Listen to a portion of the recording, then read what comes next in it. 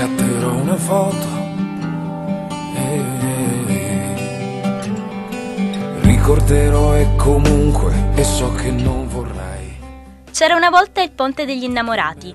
I lucchetti di Ponte Milvio hanno suggellato centinaia di amori, ma l'incantesimo rischia di essere spezzato.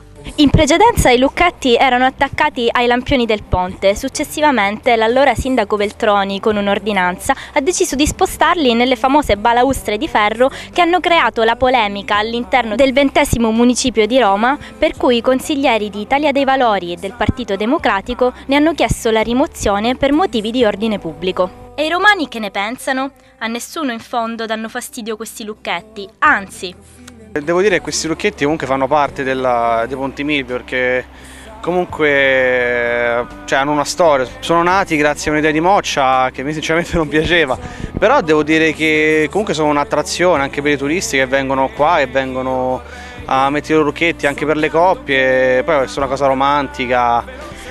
Onestamente non vedo che noia diano, sembrerebbe che ormai fanno parte del decoro, non, non sono indecorosi, quindi ci stanno. Ponte Milvio, oltre ad essere attrazione per le coppiette di tutto il mondo, è anche uno dei punti chiave della movida romana e non teme la mozione del ventesimo municipio.